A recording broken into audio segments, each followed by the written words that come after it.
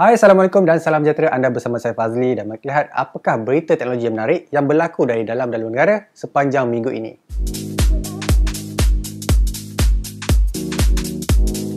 Berita minggu ini dimulakan dengan perkongsian beberapa cadangan penambahbaikan akses internet kepada pengguna.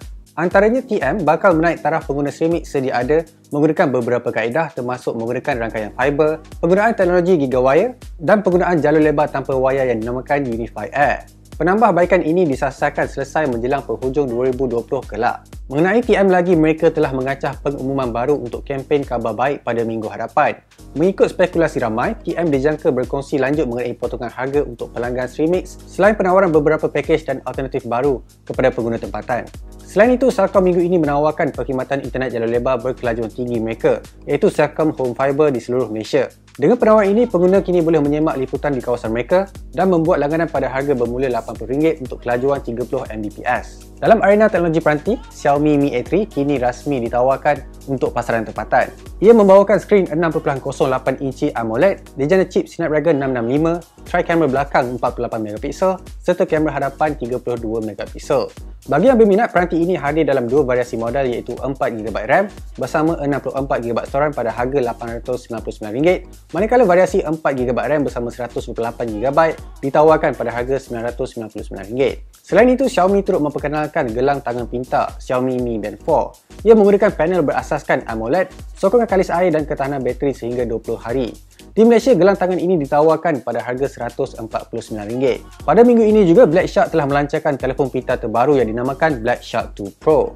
Peranti ini dilengkapi skrin 6.39 inci AMOLED, dijana chip Snapdragon 855 Plus, memori 12GB RAM, storan sehingga 256GB serta bateri berkapasiti 4000 mAh. Melengkapkan peranti adalah kamera belakang 48 dan 12MP serta kamera soft photo 20MP.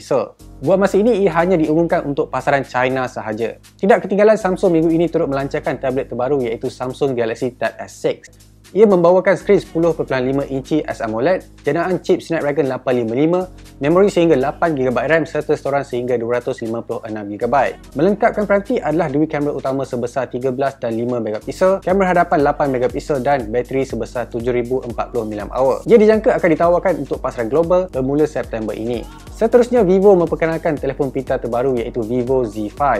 Ia hadir dengan rekaan skrin bertakuk 6.38 inci dijana chip Snapdragon 712 selain pengimbas jari pada skrin. Telefon ini turut hadir dengan tri-camera belakang dan hanya diumumkan untuk pasaran China buat masa ini. Honor bakal melancarkan dua variasi paparan pintar iaitu versi biasa dan versi Pro pada 10 Ogos kelak.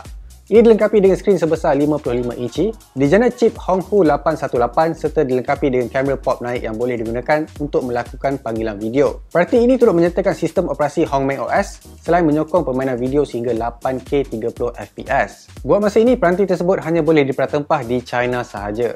Pada minggu ini juga, Powerbeats Pro telah ditawarkan untuk pasaran tempatan. Phone telinga niwaya ini hadir dengan chip H1 yang memudahkan ia ditambat kepada iPhone, iPad dan Mac selain mampu berfungsi selama 9 jam dengan sekali charge.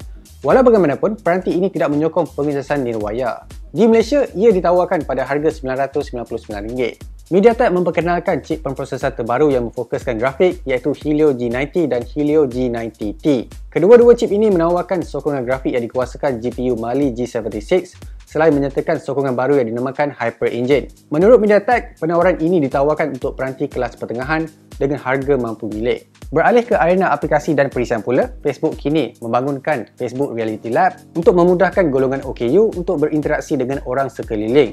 Melalui sistem ini, pengguna di masa hadapan boleh mengawal peranti tanpa menggunakan kawalan suara atau menaik. Facebook juga dilihat sedang membangunkan peranti untuk stream kandungan ke televisyen. Dengan ini, peranti berkenaan boleh dihubungkan terus ke televisyen sekaligus membolehkan pengguna membuat panggilan video melaluinya. Buat masa ini, Facebook tidak mengeluarkan sebarang kenyataan rasmi berkenaan perkara ini. Akhir sekali, ByteDash mengesahkan mereka sedang membangunkan telefon pintar tersendiri dengan kerjasama Smartisan iaitu salah satu pengeluar telefon pintar di China.